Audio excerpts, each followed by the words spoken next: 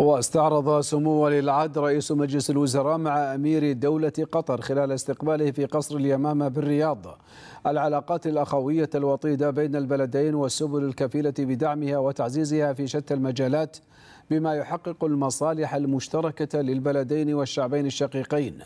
كما جرى استعراض المستجدات الراهنة خاصة تطورات الأوضاع في قطاع غزة وجهود وقف العدوان عليها وحماية المدنيين وإدخال المساعدات بشكل عاجل بالإضافة إلى بحث سبل دعم الأمن والاستقرار في المنطقة.